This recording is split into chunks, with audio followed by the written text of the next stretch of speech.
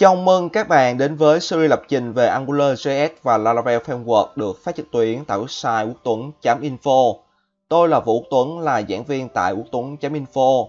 Thì các bạn cũng đã biết hiện nay Laravel Framework là một framework được các công ty sử dụng nhiều nhất và cũng có một lượng lớn lập trình viên làm việc với nó.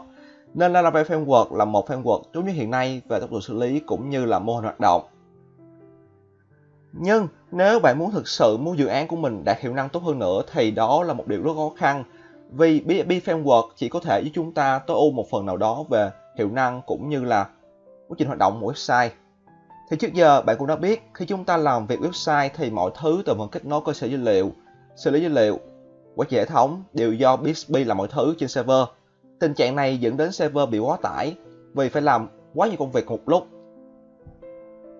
Vậy, đặt câu hỏi làm sao để giảm tải ở phía server? Thì đương nhiên câu trả lời chỉ có một duy nhất là bạn hãy cho lên làm việc. Mà lên muốn làm việc được thì có duy nhất một phần thôi là bạn, là JavaScript được chưa nào? Nên Google đã phát triển ra một JS framework có tên là AngularJS để giúp server giảm tải cũng như tăng khả năng tương tác cho người dùng hơn. Thì AngularJS được thường được dùng những cái làm những cái như là single page application Vậy, single page application là cái gì? Thì bạn nhìn tô hình ở đây.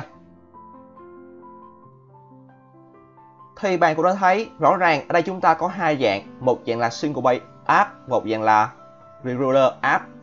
Đây là một dạng mình thay xài. Để cho bạn, đây là dạng của single page. Thấy rõ ràng là đối với regular thì bạn mỗi website thì bạn phải có những cái phần chung với nhau. Ví dụ phần này nè. Đó, phần này cũng phải có, phần này cũng phải có luôn. Nhưng mà đối với single page thì bạn chỉ có duy nhất một trang thôi và mỗi lần bạn làm gì đó thì bạn chỉ cần load lên cái phần mình cần thiết, chứ bạn không cần phải tạo ra nhiều trang để quản lý.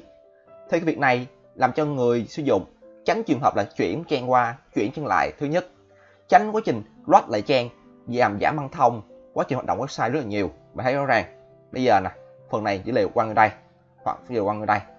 Ha, đó, chạy không không phải như thế này. Chạy từ trái sang phải rất là phức tạp và nó làm cho dự án mình cồng kềnh rất là nhiều nặng hơn nữa, được chưa bạn thì đây là sự khác biệt giữa một cái single page application và một cái regular website, được chưa nào và chúng ta sẽ tiến hành là xây dựng một cái single page application như thế này trong cái khóa học chúng ta, được chưa nào